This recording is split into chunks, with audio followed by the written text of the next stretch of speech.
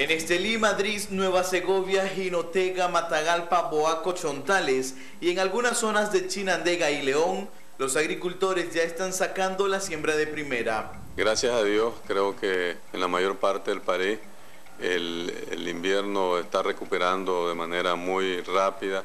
Inclusive no hemos terminado de cerrar el periodo canicular cuando en la mayor parte del país ha comenzado a llover.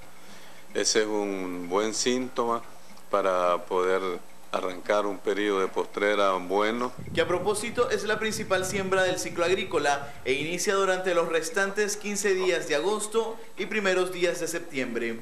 Coincidieron estas lluvias que han habido del sábado para acá con el final del el periodo canicular. La gente está con entusiasmo, este, preparando su tierra, buscando cómo rescatar este, las pérdidas que pudieron haber habido en, los años secos que nos tocó.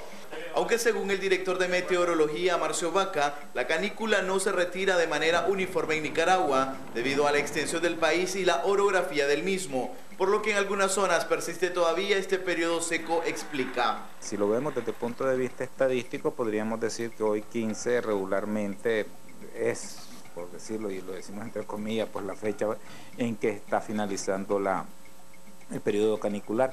Por tanto, debemos de tomarlo más bien como un periodo de transición en donde ya a partir de hoy, pues la canícula debería de ir finalizando y irse incrementando los días con lluvia. Ahora los productores están cruzando los dedos para que el fenómeno de la niña que está pronosticado a entrar sea débil y así no afecte los cultivos. Lo cierto es que se avecinan los dos meses más lluviosos de todo el año.